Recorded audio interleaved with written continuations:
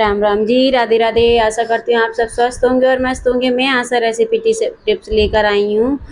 आलू सैंडविच बनाने की रेसिपी वो भी मैं आज पहली बार बना रही हूँ। सैंडविच मेकर में। वैसे तो मैं तवे पर कई बार बना चुकी हूँ, बहुत बनाती हूँ आज ज़्यादातर।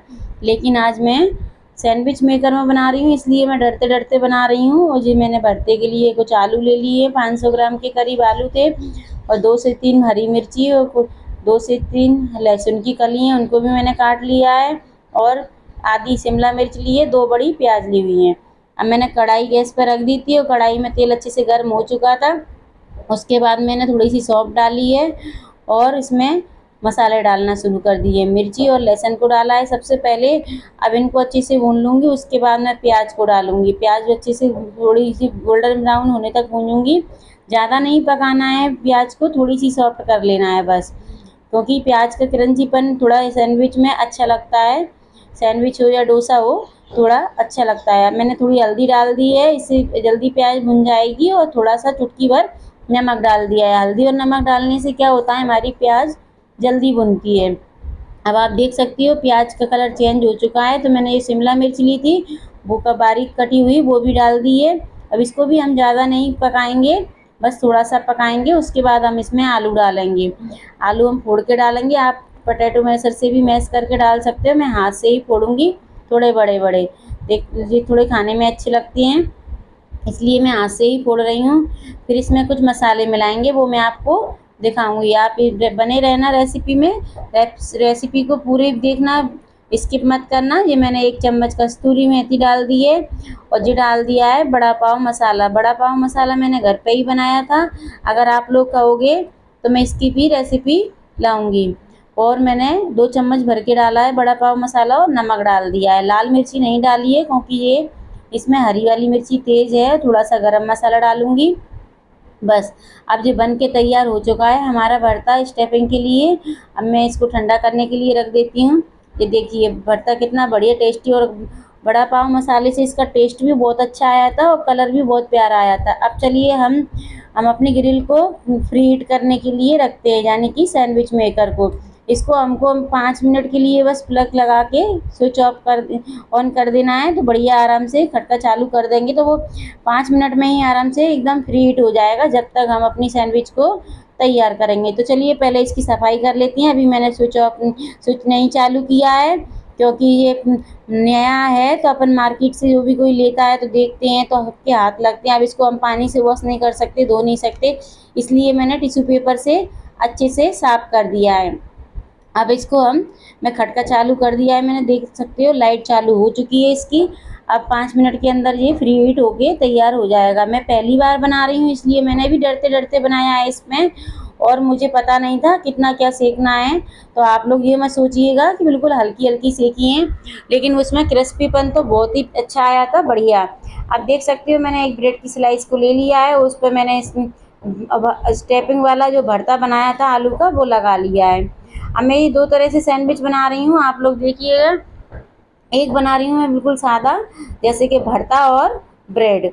और फिर दूसरी वाली बनाऊँगी, वो आपको दिखाती हूँ क्या डाला है उसमें। अब जी मैंने साइड में कर दी है। अब चलिए, मेरे पास थोड़ा पनीर रखा हुआ था तो मैंने पनीर की स्लाइस काट ली अगर आपके पास पनीर है तो पनीर डालिए, चीज़ है तो चीज़ डाल सकते हैं। और इस पर आप और भी कुछ मतलब डाल सकते हैं सामान जो अपने पसंद से कोई भी चीज़ें बढ़ा सकते हैं। तो मैंने इसमें पनीर डाला है और टमाटर की स्लाइस काट के डाली है और प्याज की स्लाइस काट के डाली है। तो आप लोगों को जो भी स्वीट कॉर्न हो या चीज़ हो जिस चीज़ें लगा सकते तो उससे इसका फ्लेवर और ज़्यादा बढ़ जाएगा। तो मैंने पहले ही वही वाला प्रोसेस किया है और अगर आप चटनी या सॉस लगा सक, के पसंद करते हो तो वो भी लगा सकते हो।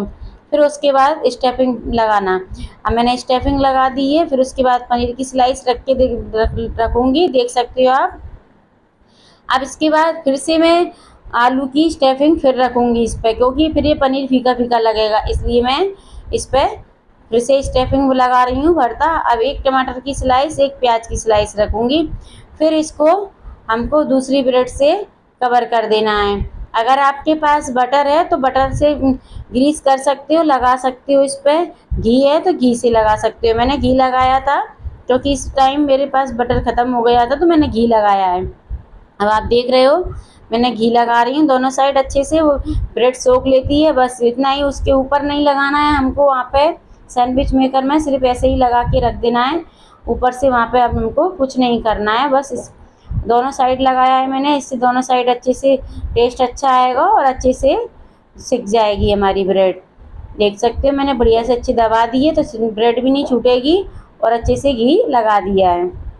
अब हमने तैयार कर लिया चलिए देखते हैं, हमारा my sandwich maker preheat हो गया कि नहीं? तो हो गया था तो मैंने उसके ऊपर जे एक सैंडविच इधर रखी है और आप अब इधर दिखाती हूँ आपको रख के।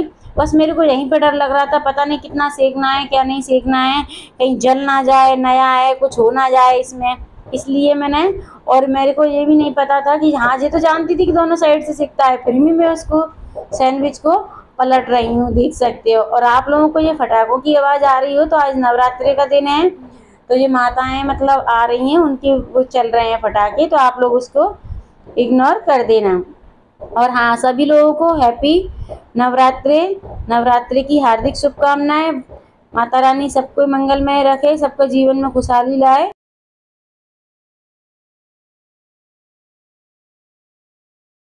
अब देख सकते हो ब्रेड मैंने निकाल ली है, बढ़िया अच्छे से सिक गई है, लेकिन फिर भी थोड़ा आप लोगों को हल्की दिख रही होगी, लेकिन अच्छी क्रिस्पी हो चुकी थी।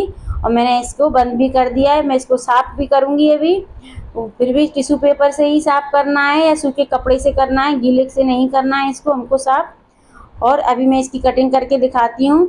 और अगर आज की ये रेसिपी पसंद आई हो तो लाइक शेयर कमेंट सब्सक्राइब ज़्यादा से ज़्यादा करें।